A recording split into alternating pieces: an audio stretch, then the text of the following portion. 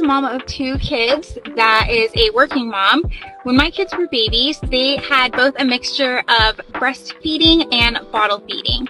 So here are some things that I've learned through my own personal experience and with working with patients. Number one, with my son, we learned early on um, through his colic that he had a very strong sensitivity to milk. Um, especially when, even when he was getting it through my breast milk, he was very sensitive to casein. So anything I ate that had casein products in it, he was highly sensitive to and would have severe colic symptoms. Um, we tried to give him formula once at four months old and we found he was also very allergic to the formula with cow's milk. Um, and he seemed to show some sensitivity to soy products at that time.